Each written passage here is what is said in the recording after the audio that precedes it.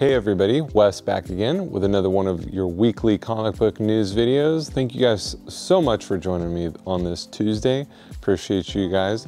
As always, if you're new, thank you for joining us for your first time. If you're a returning viewer, thank you for sticking with me. Again, we're trying to update these videos and kind of raise the bar as far as the production and the content and whatnot. So uh, feedback is very much appreciated. So with that being said, we'll go ahead and get into the news. In the back issue market, we've seen a lot of trends that we've seen from previous weeks, although we have seen a few market corrections in some books and some books start to pull back a little bit, but it seems like more of an outlier than the norm. Uh, in general, we're seeing a lot of strong continued sales through major keys, especially Marvel as usual, um, this week in particular, we've seen some strength with Eternals 1.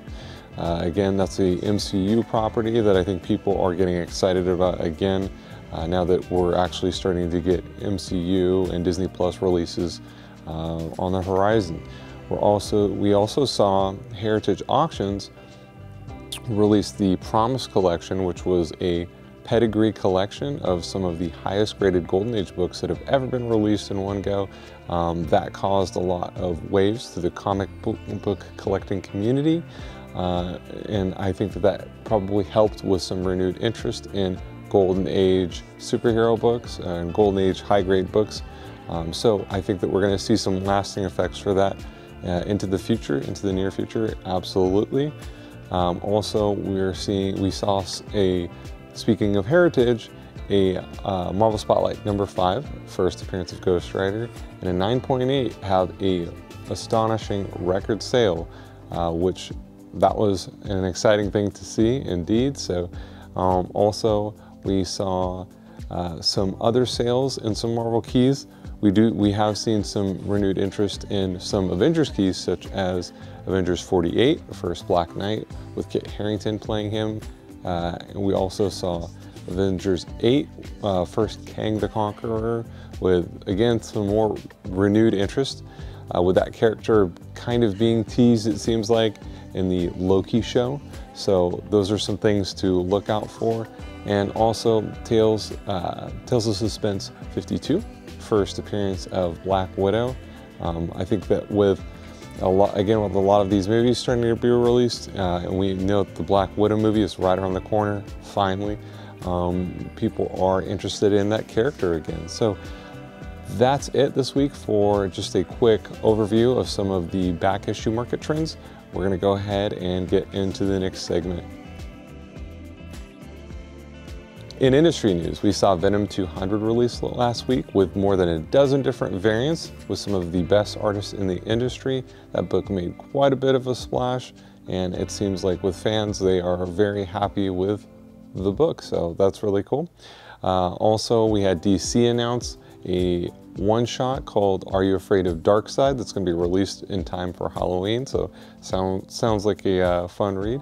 Also from DC, we saw them celebrate Juneteenth with a collection of uh, some of their African American characters, and uh, that material is going to be available on their DC Universe online platform, free to read. We also had the announcement from Eisner nominated comic creator Kyle Starks teasing two new titles the six sidekicks of Trigger Keaton and Old Head. So those are some new titles to look out for that were just announced In new comics to look out for this week, from DC we have Infinite Frontier number one, and also Wonder Woman Black and Gold that's in the same vein of some of the red, white, and black comics we've seen, but in this sense it is black and gold prominently featured throughout the comic. From Marvel, we have Gamma Flight number one, which is a new number one that's part of the Hulkverse. We'll also see Heroes Return number one, so these are two number ones from Marvel coming out this week.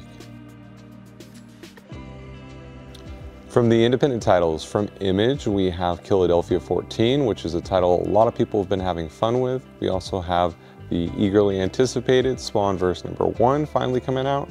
From Boom, we also have Good Luck, which is uh, Good Luck number one, which is another number one, which is exciting.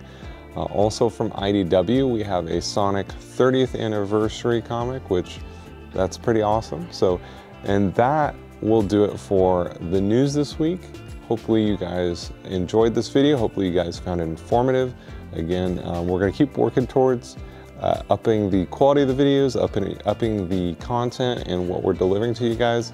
Uh, it is very much still a new thing. So we really appreciate you guys dropping by, hanging out and uh, watching these videos. So please, if you can, on the way out, drop a like, a comment, um, give us some feedback and uh, what you guys thought about the video. And I hope everybody out there has a great week and enjoys this hobby as much as possible. Thank you guys so much. This is Wes signing out.